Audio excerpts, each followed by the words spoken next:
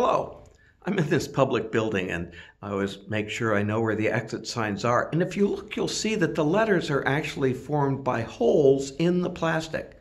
The message is in what's missing, in the void. The reality is in our own lives.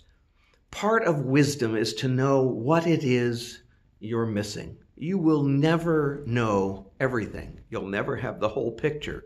And part of our task as people preparing in a helping profession and people preparing to take a test is to know what we don't know.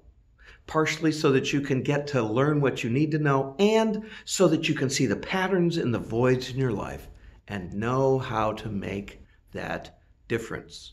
Knowing what's not there helps us to know it's in there.